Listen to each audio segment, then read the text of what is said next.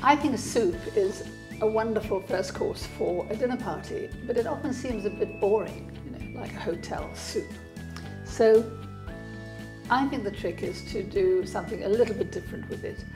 And one way is to make two soups. They are of exactly the same consistency, but two contrasting colors.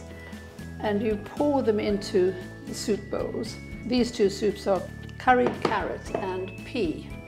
Well, peas go really well with carrots, as we know, and curry is just great with both of them. You could feather it like that.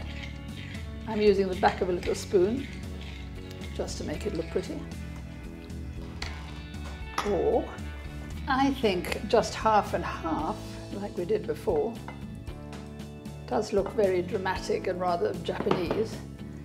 But you could also swirl it round and round and round like that. You can do what you like really. But the things to remember is the same consistency for both soups, the contrasting colours obviously, you could have white and purple or something, beetroot and potato. And of course the flavours must go together.